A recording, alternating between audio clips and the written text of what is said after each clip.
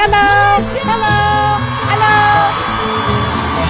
Terima kasih kerana anda memilih Koko TV. Koko TV.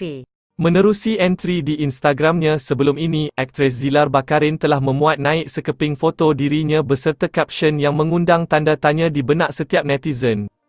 Foto yang dimuat naik itu umpama memberikan bayangan bahawa dia telah mengalami keguguran, inilah takdirnya, Allah Maha memahami, tunggu mamar di sana ya, tulisnya ringkas. Apabila dihubungi, Zilar menjelaskan perkara sebenar yang telah berlaku terhadap dirinya, yang sebenarnya, Zilar pun tak sangka pada usia 43 tahun sebelum ini, ditakdirkan Zila hamil lagi. Pada mulanya agak takut dan khawatir apabila mengandung pada usia yang lewat ini, setelah suami dan keluarga serta doktor memberi dorongan, perasaan takut bertukar gembira. Bahkan Zila terus mencari maklumat tentang kehamilan di lewat usia, banyak info sudah Zila perolehi dan sudah pun bersedia dengan membeli suplemen untuk menjadikan kandungan kuat dan baik. Maklumlah dah agak lama tak hamil, kegairahan jadi lain macam, suami dan anak-anak pun sangat teruja, ujar Zilar pada 24 September 2018 apabila Zilar membuat pemeriksaan untuk kandungan, tiba-tiba doktor terdiam.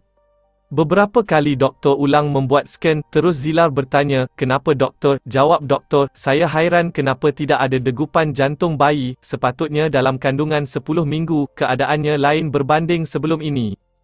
Tumbesaran bayi pun seperti tidak ada. Sebelum ini, Zila pernah mengalami keguguran kandungan ketika usia cinta 6 bulan. Apapun berlaku Zila dan suaminya redha dan menyifatkan itu bukan rezekinya buat kali ini. Zila telah mendirikan rumah tangga bersama suaminya Azri Izhar pada tahun 2008 dan mereka dikurniakan dua orang cahaya mata autu kasih, 13 tahun dan cinta, 10 tahun.